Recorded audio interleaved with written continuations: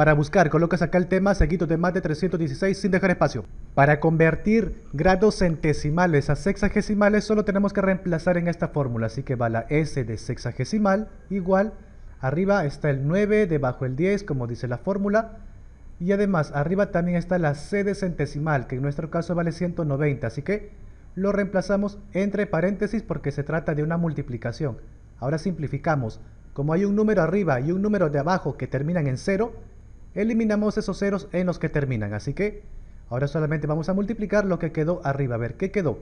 9 por 19. Multiplicamos 19 por 9 y sale 171. 171 por acá. Y abajo como quedó 1, 1 debajo ya no es necesario colocar. Porque se sobreentiende que ya está ahí el 1. Entonces esta sería la respuesta. 171 grados sexagesimales. Listo, ya ha sido convertido.